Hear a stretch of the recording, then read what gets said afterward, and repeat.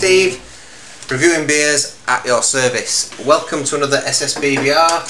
Um, this one is another, it's, it's not a, a, bargain beer. This one, and I do them from time to time, this one is more of a request from my dad. Uh, he's a massive fan of the Wold Top Brewery. I'm a massive fan of the Wold Top Brewery as well, I think their beers are sublime. Uh, brewed with purely natural ingredients. Um, a local brewery. It's quite a small mi micro brewery, would you say? I've never been actually. I've never been to the brewery site itself. I don't know how big it is, but it's a micro brewery up in Hunmanby, in uh, North Yorkshire, just outside Filey, just in just at the end of the Yorkshire Wolds, the Wolds Way, which I've walked a few times before. Actually, it's a beautiful walk. If you ever want to get out there and do a walk that's a little bit different, a little bit alternative to the Pennines or to the coast to coast, the Wolds Way is a nice little walk. Anyway, I, I do digress. I'm talking about other things now. Uh, so back to the beer. So this is Scarborough Fair IPA. My dad loves this.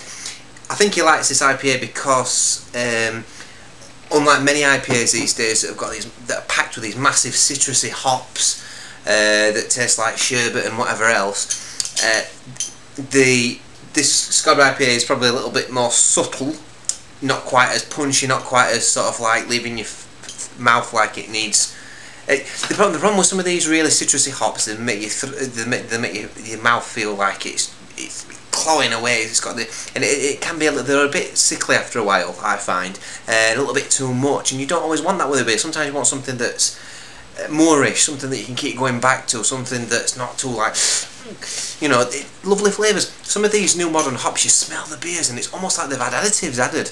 You know, they've, they've got these weird, they've got these amazing fruity flavours which is and smells, which is fantastic. But sometimes on the on the palate, they're really dry, they're really bitter, and they just claw away at your taste buds, and they can linger for quite a while sometimes. And I'm not always keen on that. Sometimes I appreciate that, and sometimes I like that. But like my dad, actually, I find it a bit too much, and that all IPAs seem to be like that now. So here we go, Scarborough Fair, Wold Top Brewery. I'm going to get straight in there. I'm going to stop talking. taking the top of it. They've got their very own crowns, Wold Top.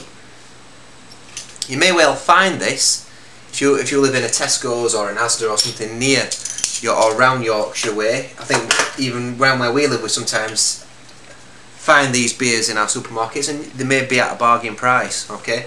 I don't know how much would I paid, maybe two fifty a bottle or something like that. I don't know.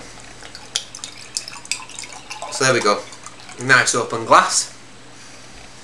Give it a little swill and straight away I'm getting um, really really nice sort of I'm getting a, a nice malty note from that actually. I am getting citrus. I'm getting citrus I'm getting lemonade getting a little bit of a limey zest from that. Uh, slight grapefruit as well. Slight orange you know. But I'm getting a maltiness coming through as well which gives it that traditional sort of more quintessential British sort of smell you know I'm going to swish that around a little bit. It's not a great class to swish with this actually. I'm just trying to get that opened up a little bit. It's a little bit cold actually. But yeah, it does smell, smell it smells like it's British. Maybe not quintessentially British as such, but it does got it has got a British quality, maybe because of the balance of the malts that are in there. Um, and from the malts you are getting like a breadiness to it.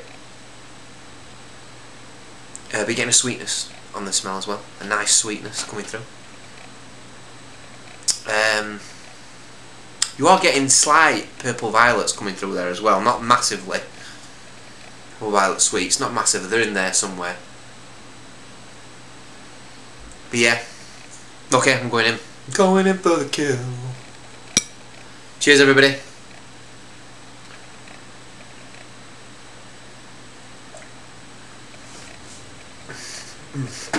Yeah. Oh, I could sit back and... Oh, that's lovely. Oh, it's lovely. Tell you what it reminds me of a little bit. Before they started watering it down, Marston's used to do um, their English IPA. Or English Pale Ale, they called it. It reminds me of that used to taste. It's got this lovely, um, it's slightly sweet, it's got a lovely balance, it is slightly bitter, it is slightly citrusy, but it's very drinkable. It's something you can keep going back to and knocking back. I'm drinking that quite cold and it, it suits that because the, the hop still pierce through. You can drink that quite, you can see the condensation on the glass, it's, it's quite cool that. you're getting a slight spiciness from the hops. I reckon there's English hops in there, which I describe as ginger. I like gingery flavour you get um, when you have gingery food like lemon and gingery sort of um, spiced infused Thai food or uh, curries. Um, it reminds me of that a little bit, or like a stem ginger biscuit. I'm getting a little bit of that coming through, and people would argue that it don't taste anything like that, but to me it does. Um, but that even so, it's got a spicy note to it. Uh, I do apologise if I've got uh, quite a lot. I'm trying to reduce my ers to a minimal, but I do find it quite difficult. Uh, he says, let's have a little. so I, what I'm getting for that, I'm getting like an, getting like lemon, nice citrusy note on that. On the flavour, it's lovely balanced weight with the hops, with the malts. I, I wouldn't be surprised if there's like a crystal malt in there.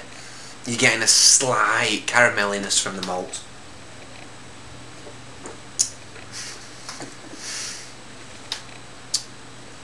and I feel this beer does get a little bit more bitter as it goes down and you do get a little bit of an afterburn on the afterburn burp it's lovely you're getting a lovely sort of slightly spicy, fruity, lemony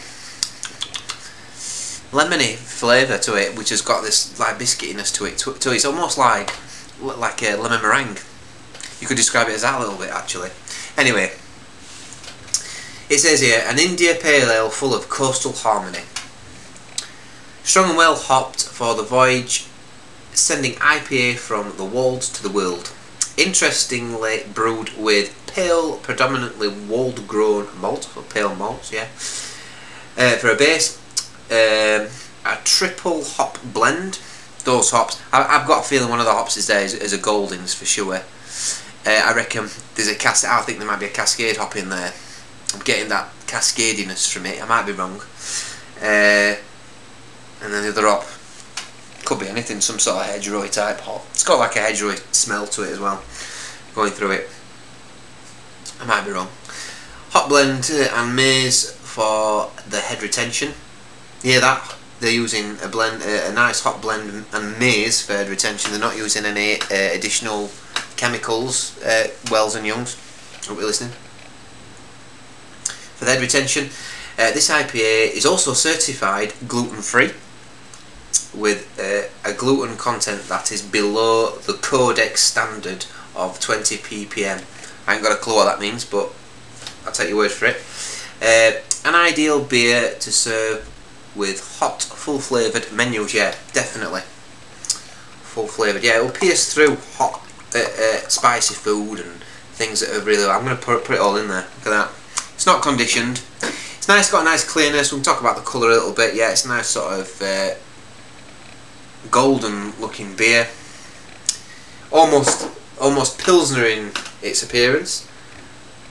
No, more pale actually. More pale. More pale than that.